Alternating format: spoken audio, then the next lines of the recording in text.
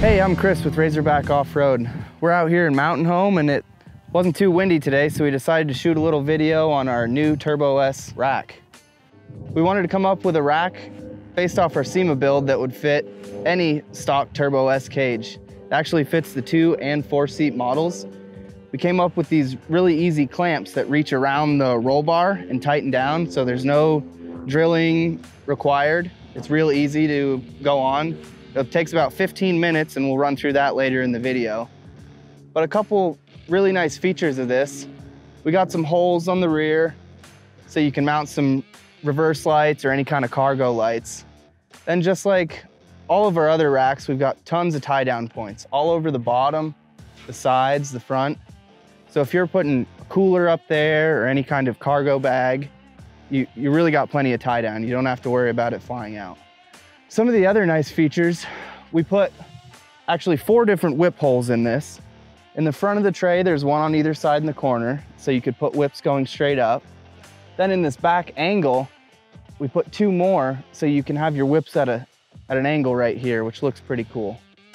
Another great thing about this rack is it's up high enough where you can reach it, but you also have enough room down here for a cooler, anything you need to reach regularly. All right, we'll head back to the R&D shop and get started on the install. To start, we're gonna unbox it over at the table. All right, I gotta give our Razorback Off-Road shipping department a huge shout out because they do an amazing job packaging this stuff so it makes it safely to you guys. Let's go ahead and open it up.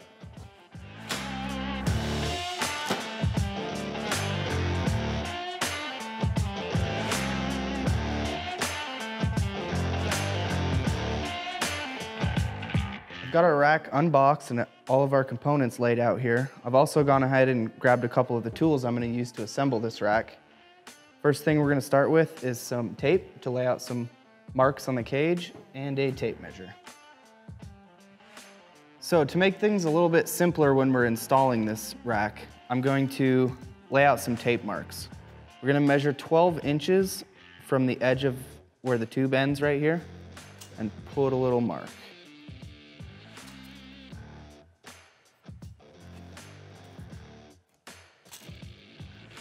There we go.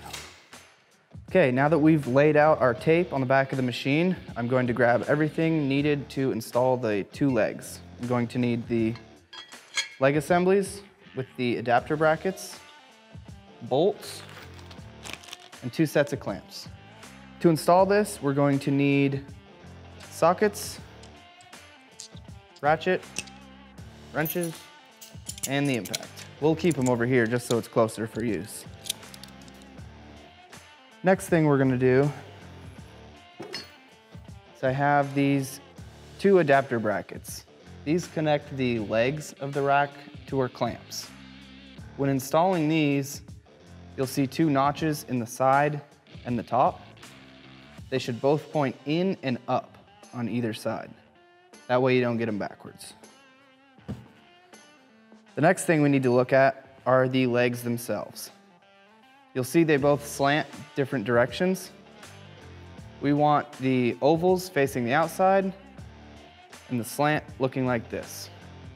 Now that we've got our left leg adapter with the notch in and the notch up and our left leg, we can go ahead and bolt them together. I'm going to use three quarter inch bolts and go up from the bottom with a nylock on the inside. You'll be able to set our adapter right over one side of the leg clamp and grab the other clamp, put it on the back side like that. For this step, we're gonna use one inch bolts because it needs to reach around the cage a little bit with nylocks on the back. We'll get all four of these in, then we'll get the leg on the right side in place.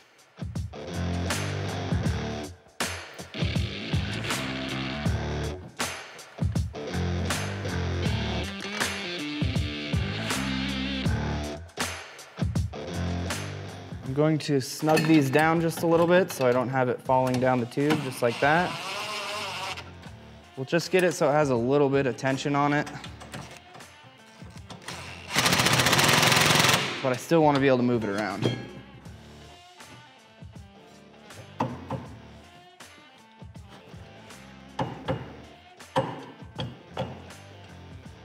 Right there. Now we're gonna go ahead and get the other side lined up the same way.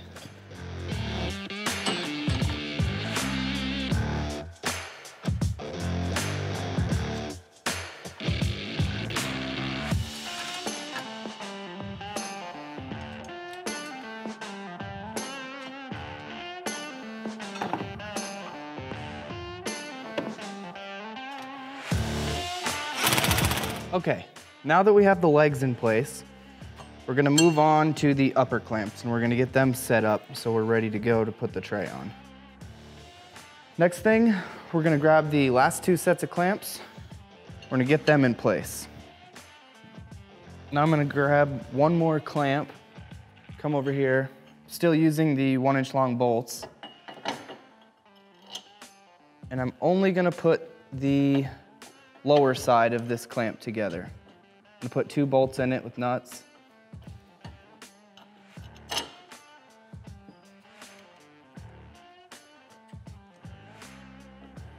And you can just let it slide down until it touches that tube.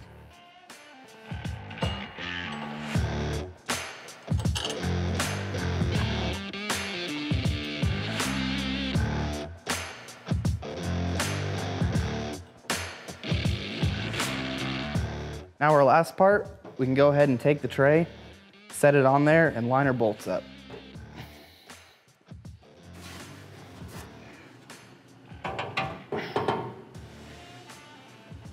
Since we have our tape lines there, we know our lower brackets are close. We're gonna take two bolts on this side, move over, and get our upper brackets lined up. Now, our tray, the tab that comes off the tray, will go through the same bolts as the clamp. And we'll put them through, we'll line them up on the inner section of the clamp. We'll get a closer shot of that in just a minute so you can see.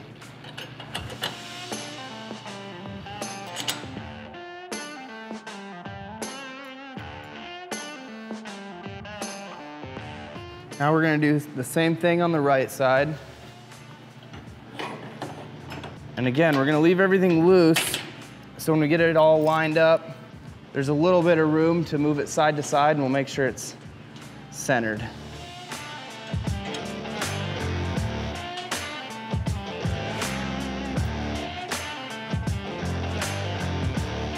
Now that the front's bolted down, I'm gonna get these legs in.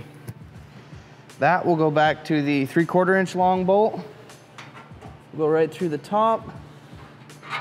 Now, on this step, this is why we left the legs loose. You can rotate it a little bit or move the tray up and down the tube to get the bolts to line up. All right, now that we have all the bolts in with nuts on, we're gonna make sure everything is pretty straight. We need to look on the side and make sure that's gonna line up. And then we can go ahead and tighten everything down. I'm going to start with the legs here and then move to the front and then finally down to the bottom clamp.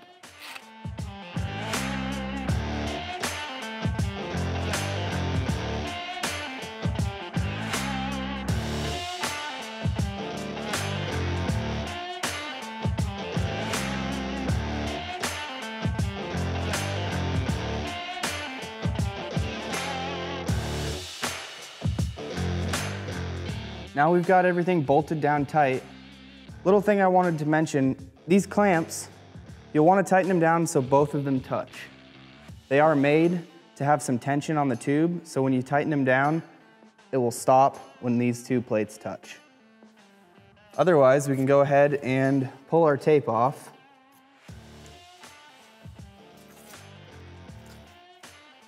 And this rack is installed. All right, we've got our rack installed. We tried to make it super easy to install, but of course, if you have any questions, don't be afraid to get a hold of us. And I hope to see you out on the trail.